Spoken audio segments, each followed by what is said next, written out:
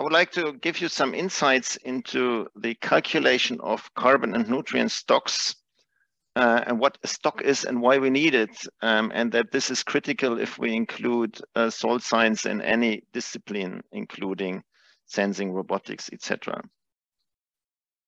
Um, let me give some background why this uh, can be important. What you see here is the um, CO2 curve of the atmosphere. Uh, the carbon dioxide in an ice core 800,000 years before present. You remember human beings exist 400,000 years and we see there are some fluctuations. Um, there are some peaks uh, every 100,000 years, um, but we never hit the 300 ppm line. Uh, and that has changed in the last years now. Um, now we are even exceeded the 400 ppm. And uh, now we cannot uh, ignore climate change anymore. These 400 ppm, they are equivalent to, what is this here? They are equivalent to um, 5 billion tons of CO2 carbon, which we emit too much in the atmosphere. In order to understand how much this is, we can relate to the global carbon cycle. Uh, and then we see here these arrows, they indicate how much carbon we either emit or we take up into our ecosystems, while the points indicate the stocks of the carbon. And when we look at the arrows which go up here, um, then we see, uh, then we see, for instance, we have 9.5 billion tons which we emit by fossil fuel combustion. combustion. We can add 1.1 billion um, tons which we add by uh, land use change, which is then 10.6. The red parts here is the budget imbalance. It's uh, minus 0.3. So we can add the uncertainty of 0.3. Then we have 9.5 plus 1.1 is uh, 10.6 plus 0.3 is 10.9. And then there's one addition 0.1 from volcanic eruption. So we have about 11 tons of 11 billion tons of carbon, 11 gigatons, which we emit every year. The uptake are the arrows which go in the, the uh, opposite direction. We have 3.1 billion tons, which we take up into the vegetation and the biosphere, plus 2.8 which we add into the oceans. This is 5.9, and the difference to the 11 mentioned is the blue number, the 5.1. And this is exactly uh, our what we had in this other figure, the amount which we add too much every year to the atmosphere. Now, if you look at the green dot there, the soils, the soils store about 1,700 gigatons, 1,700 billion tons of, of carbon um, globally. And if we calculate that, then this 5.1, which we emit to one, is less than 4 per mil. Uh, so it's a small change compared, uh, which we have too much in the atmosphere, which causes climate change, compared to, the whole amount of carbon which we have in the soils. And that gave rise to the climate conference in Paris 2015, um, people just made a similar calculation. 2015, people thought this is the, the orange middle line. We still had 1,500 billion tons in soil, not 1,700. And at that stage, we emitted uh, 4 billion tons too much, not 5. But nevertheless, it's the same. So at the reference depth of 40 centimeters, uh, people concluded this is less than 4 per mil. And the idea is if we can increase our carbon stock by four per mil per year, then we do not have any climate change. Technically, this is not possible, but this is not the topic today. But at least a certain portion can be added to, to soils up to 1.3 gigatons.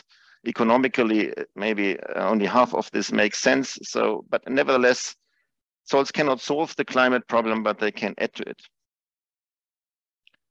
Why do I say that? Because we have here a different unit of the um, gigatons of the total amounts compared to the unit we can measure. When you give a soil to, to analysis, you get, for instance, the, uh, the value for an optimal carbon content, which is really high, even 2% um, of soil organic carbon, which would be really a lot which translate then into 20 grams per kilogram carbon of soil. Now the question is, how do you translate that to the carbon stock per hectare? Or if you do the same for phosphorus, a typical concentration in our soils would be 100 milligram plant available phosphorus. How do you translate it to the stock uh, in the surface soil, which is plant available, which then, for instance, also derives uh, fertilization demand if the plant take 10% of the stock. Um, how can you convert these units? And I would like to practice that with you with a simple uh, with a simple example. It's an example with realistic carbon concentrations, but the exact numbers are fictitious, but it's a typical example to what happens. If you, for instance, convert a forest surface soil to an arable soil, so, so you deforest, you take the trees out and you use this forest as arable land. Then you will measure carbon concentration in the forest topsoil, which was formerly 2% of carbon, and now after maybe 20 years, you have 1% of carbon only in the arable topsoil. The question is, how much carbon did you lose? Is this 50% as it indicates, or is it less? So the first thing you have to do, what you have to consider is soil depth. The, the topsoil in the forest is flatter um, it is usually only 10 centimeters, while in the arable soil, everything is plowed to 30 centimeters. So in this simple comparison, um, there's a depth interval missing in the forest soil. And below the very top soil, we usually have a bit less carbon, only 1%, for instance. And when we consider the carbon content or nutrient content similar for nutrients in the arable soil, we have to include this mixing in the calculation, how much elements we lose. Um, so we can adjust that. We, we calculate a, a, simple weighted average, assuming that the density is similar, the soil mass per depth interval. And then we have in the forest topsoil, we have 2% and the top layer plus twice 1% is 4 divided by 3 intervals of 10 centimeters. So we added at, at, at an average value of 1.3% of carbon. Um, while in the arable topsoil, we still have the 1%, which is uh, homogeneously distributed because it's mixed in the plow layer. Now, how much did we lose? Um, this figure assumes we lost about 30%, which is also not yet correct because we have to consider how much mass is contained at a certain depth. And uh, for this, we have to know the density. So how much mass of soil is stored in a certain volume. If we take the volume of one liter, so one cubic decimeter, then a typical bulk density of one in a forest soil would translate into one kilogram soil is stored in one cube cubic decimeter. Um, and in a arable soil where you have uh, heavy machinery, you may compact the soil. So actually you store a bit more per liter. So you have 1.2 kilogram per cubic decimeter. Now you can calculate from this the soil mass which you have per square meter. So you have three liters with depth for the 30 centimeters. So you have to multiply the one kilogram by three for three uh, decimeters depth intervals. then you have to convert a decimeter square to meter square. So you have to multiply by 100. So you find in one square meter of surface soil average to 30 centimeters, 300 kilogram in the forest. And if you have a bulk density of 1.2, uh, you have 360 kilogram in the arable soil. Now we still have the carbon content. We have 1.3% in the forest soil, so we have to calculate 1.3% from 300. Then we add about, um, we find about four kilogram of carbon in the surface soil of the forest and 3.6 kilogram in the surface soil of the arable soil.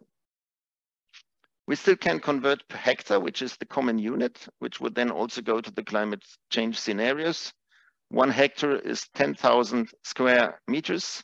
So we have to multiply by, multiply by 10,000 And then we find finally 40 tons of carbon in the uh, per hectare in the surface soil of the forest and 36 in the arable soil. So to answer the question, um, we lose about four tons uh, carbon per hectare. We have carbon loss of 10% and not what is indicated by the above concentrations uh, would, would falsely assume 50%. Uh, so why did I show this example? It shows you need the bulk density to convert the concentration, which is in percent or which is in gram per kilogram, to the really stock, which is the multiplication with the volume.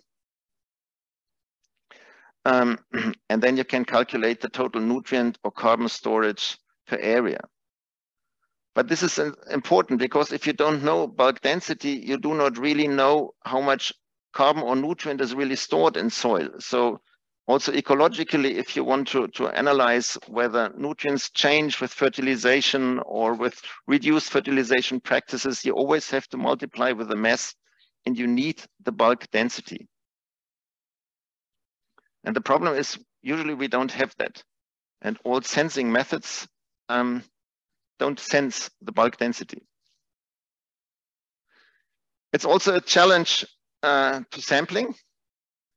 Oh, unfortunately, my pen doesn't work, so I cannot show that here.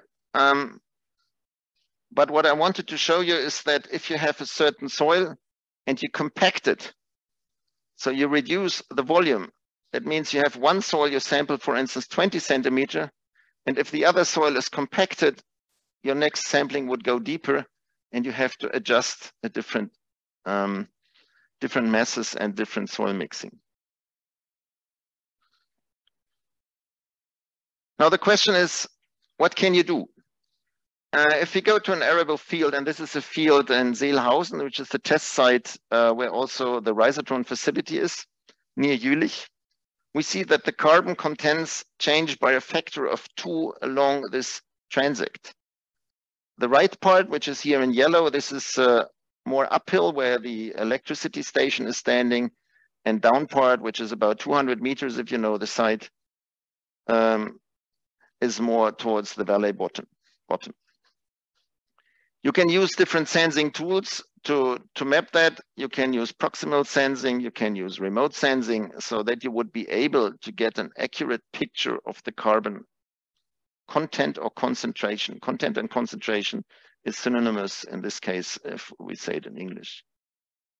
Um, but we do not have bulk density, so we do not have the carbon stock. And whatever we sense with whatever technology, we do not have the total stock of the carbon content. And the same is for nutrients. We don't have the stocks of phosphorus. We don't have it for any other nutrient. So all sensing of the soils uh, are not precise. Now, what can we do? Um, there are methods to, to apply uh, environmental sensing also to soils. The most common one is infrared. You, you just take an absorption spectrum um, and then gives you a different wavelengths. What we use here, which is a machinery we also got from Phenorob, is a mid-infrared spectrum because it shows many signals and each of these individual peaks, uh, you can assign a certain uh, functional group in soil organic matter or in minerals or in water. Um, to evaluate such a spectrum chemically can be quite complex and we see also it's a bit wavy and not very, the differences are not very clear. So that's usually what we don't do in sensing, but we use um, statistical methods to deconvolute these spectra, for instance, in the simplest case, to transform it into virtual uh, principal axis and then to correlate the soil properties with these principal axis components. You can have other machineries, uh, other, other, other models from neural networks in order to derive a soil property from the overall pattern of the spectra not looking individual what a specific band is detecting, but just taking the pattern as an indicator for the soil properties. And this is very fast. The machinery has an auto sampler, um, so you can analyze 500 samples per week, and that's a rapid soil analysis. And this works quite nicely. Um, if you do it for carbon, for instance, you see here is an older study um, from the old CRC, Transregio. Um, on the y-axis, you see the mid-infrared estimated uh, carbon content. And on the x-axis, you see the quantitative analysis. And you see both values lie very close to a 1-1 line. The sensing of the carbon content is at least as accurate as the conventional analysis, so that works fine. You then can start to use this technology which you have in the lab to um, mount on tractors, for instance. Um, usually this is done with a light source. And in order to measure the reflectance light accurately, you have to measure the reflectance spectra in the dark. So um, Stefan Pätzold constructed um, with the Institute of Agricultural Engineering a dark chamber which is mounted behind the tractor and the sensor system with this light is sitting inside. It gives light to the soil. You measure the reflectance spectra and then you do the same calibrations as you have in the lab. And then you can uh, sense the different uh, soil properties while going with a tractor over the field. You could also do it via drones then you cannot use easily uh, light reflection. You have to modify this a bit, but actually it works. The problem is you have some, some confounding uh, influences. The biggest one is moisture. Uh, you see here on the left-hand side, in a way, these absorption curves. Um, and on the uh, x-axis, the different wavelengths. And you see that these curves differ quite significantly for different moisture contents. The upper curve has a moisture content dark blue of 32%, and the uh, orange curve, they are air-dried soils which have much less um, signal intensity. And you can assume that if you go over soils with different moisture content, then you don't see the organic carbon and organic matter, you actually see the moisture differences.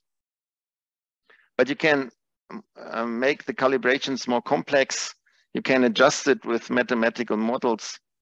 And finally, uh, you also have to adjust for surface roughness. And you see here the red line, which is quite close to the uh, one-to-one -one line.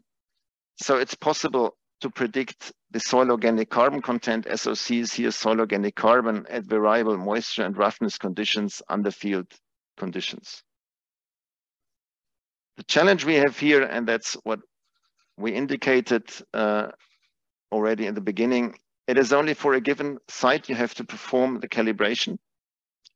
And, and this is the key, any light reflectance measurement or light absorption measurement, it only affects the top one or two millimeters of soil where your sensor signal enters the soil. Every, everything below is invisible.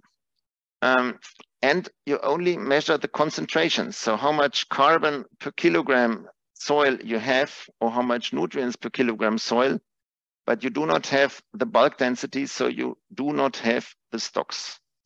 And any sensing method will miss the whole quantity of the elements in soil. Um, you only can do it, of course, if there's no vegetation on the surface. And uh, these um, infrared spectroscopic me measurements have the additional disadvantage that you don't have a direct signal for nitrate, for instance. So for the really plant available nutrients, it's even more difficult. Now, what can be a solution? You can use different wavelengths by different uh, technologies for sensing. The infrared is quite in the middle. At the very low end range, you can use uh, electric magnetic conductivity, or we go to the very high range, which is then um, the radiation, electromagnetic radiation, especially of the gamma radiation. And gamma radiation means we have a radioactive decay. Some nucleates are not very stable. Yeah, you have a radio radioactive decay, you know for uranium that it can be dangerous if you have if you're close to radio, radioactive decay. And there are different mechanisms of radioactive decay. Uh, high energy would be on the left-hand side. It's called an alpha decay, where you really emit um, alpha particles like helium particles, um, but you can protect from this radiation already with a piece of paper. Higher intensity, you better go into a different room is then the beta decay, where you emit, for instance, an electron or, or a proton. Um, and the highest energy would be a decay where you miss you uh, emit only electromagnetic radiation, the gamma radiation in very high energies. And several nuclei emit these energies. And for environmental sensing, the most important ones are potassium, uranium, and thorium.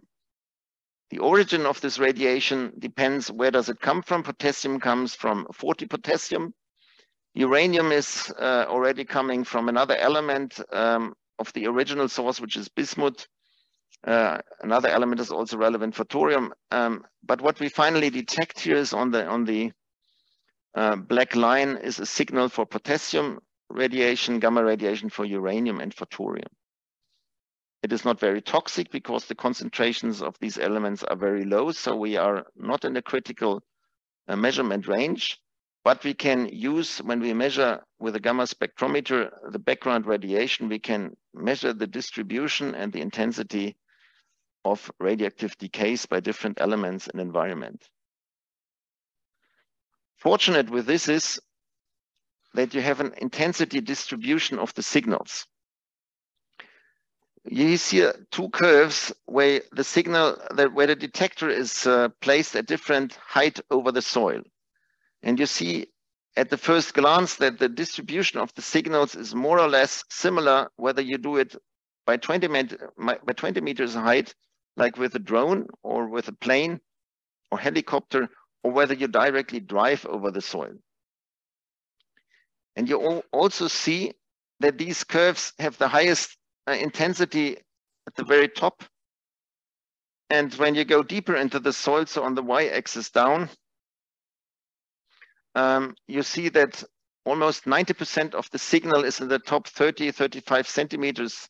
So what this methodology does, it integrates at least across the whole plow layer. You still don't have the bulk density, but at least you have a sensor signal which is proportional to the total stocks of the respective elements in the soil. Unfortunate, unfortunately, um, you don't measure the radioactive decay of, of carbon or of any phosphorus atom, but at least of related ones like potassium, which is in the clay minerals, and then the clay minerals can absorb the carbon, so you can have some indirect assessments. And uh, these detectors, they can also be mounted on a tractor, which you see here on the left. We have two of these detector mounted here and you drive over the field and then you get at different points, you get your measurement signals. And for instance, this is a curve which shows signals for potassium uh, for the total counts on the uh, x-axis. And since potassium is allocated in the middle of the in the in the center of the clay layers, you have quite a quantitative uh, estimation of soil clay content. Ton is a German uh, translation of clay here. Um, again, different clay mineralogy means you need to calibrate for different sites. Um, and if you drive very fast, you may also smear your signals. Uh, so, but this can be solved if you, for instance, do a moving window uh, averaging. You measure at five points, then you calculate the average for the five points. Then you move to the next point. It gives you another averaging. Um, so you don't take the measurement value at a single point, but you always measure, uh, you always average over five points and then you continue to drive and this gives you a fairly accurate assessment at the end of the total uh, counts which you have in the field. And it's usually a linear relationship. Here's an example for site Dikopshof. We just look at the green line. Um, the higher the potassium, the higher the clay content, which usually means the lower the sand content. So the overall correlation is negative. And we see here from the Pearson's correlation coefficients that um, you can get quite a nice um, prediction of sand contents just, just by driving or by flying over the soil. Now, if you go to different regions, um, you see that sand and clay mineralogy is different and these curves are not always the same. So if you use the open dots here, which is Ascheberg near Münster, and you take here a total count of maybe 1000, then you add on the y-axis at the sand content of about 20%. If you would use this calibration and go to other points, uh, like here at the bottom, at the, at the line on the top, you would translate the 1000 not to 20% clay, but actually uh, to 20% sand, but you actually have a 70% sand. So you see the, the calibration function you have, to, which you, to predict the soil property in one region does not work if you go to a different region. And we cannot easily just fly over whole Germany and then map all soils. In the simplest case, we need a calibration function which is specific to the specific sites, which gives a lot of workload. Now, you all know these machine learning techniques. You can group the spectroscopic measurements uh, according to other properties, uh, as for instance done by support vector machines. Then you the model selects specific regression functions for specific areas and then you see here across different areas, you get quite nice prediction. So using machine le learning tools can solve the issue that the calibration actually is site specific. It's still not universal, but at least for the areas you work with, you can get a quite a nice uh, prediction of soil properties. We try to improve that by other mix uh, technologies like uh, total scanning of element contents with the specific uh, X-ray fluorescence technology. So we approach the problem. And you also can do it from air. Yeah, you can fly over an area, you mount these gamma radiation devices there, and then you get your air signal. and then you finally can cover large areas by sensing. So what did I want to tell you today is please keep in mind that the laboratory measurement gives you a concentration, but what is ecological relevant is not only the concentration, it's how much of the total amount of element you find. So you need the stocks. So the stocks of carbon and nutrients are the um, ecological relevant unit. In order to calculate stocks, you need to know the bulk density, how, how density, how densely is the material packed. And we do not really have good tools for environment sensing of bulk density. We can use penetrometers, which gives a point estimate to a certain degree. There are ideas on it, but at present we don't have a reliable tool which can measure bulk density across a large area. And that means um, the most important ecological parameter, how many elements you have, uh, we don't get with environmental sensing. As a compromise, we can use gamma spectroscopy, which at least integrates across the whole plow layer, which gives you some estimations of related properties like clay content or anything which is correlated to potassium. it you, doesn't give you a direct estimation, for instance, of the nitrate content. But also with this technology, we miss everything below the plow layer. We can overcome the problem of site-specific calibrations, but we do not access, assess anything which is deeper in the subsoil. And with the final slide, I want to show you some data from uh, a recent uh, thesis which is done in Brazil, how much of the elements can be in the deeper subsoil. This is a reforestation site in Brazil. And just look at the middle curve uh, with RE, which means reforestation, compared uh, to, for instance, secondary forest on the right, we see that these green uh, bars on the top is above ground carbon accrual, which is a bit different as among sites, but the big larger, the much larger difference is in the deep subsoil between uh, one and two meters depth. And many ecological changes happen just below the plow layer, also in arable ecosystems. And we miss all this information at present by environmental sensing. And also if you use robots to um, analyze the sustainability of any environmental measure, you must be aware that more of half of all element stocks uh, you do not sense at all. And uh, you also do not have the correct bulk density. So you have actually to guess how much is in your field, which makes a precise assessment of sustainability difficult. And with this, I would like to thank you for your attention and are open to any questions.